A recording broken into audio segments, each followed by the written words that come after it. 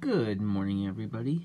Today we are opening 2019 Heritage Minor League Baseball Hobby Pack. Eight cards in this pack. Packs with a special insert may contain only three to seven cards. Let's see who we get. It's hard with these minor league cards because they have the minor league teams on them. So hard to say what team some of these guys belong to unless we, unless we recognize some of these big names.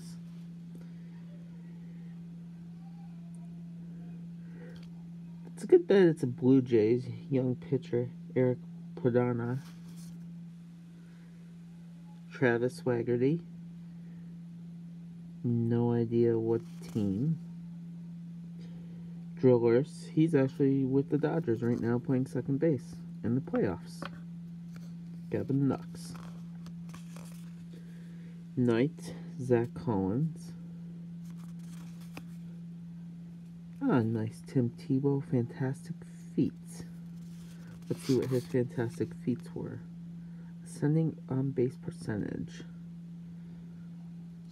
I have a couple Tim Tebow cards, but not very many, so that's a nice addition to the collection. Look at that team name, Jumbo Shrimp. Sea Wolves, final card. The Dash. So, what do we have? Two names we recognize. Gavin Lux for the Dodgers, and Tebow with the Mets. So there you go, everybody. 2019 Topps Minor League Heritage. Have a good day.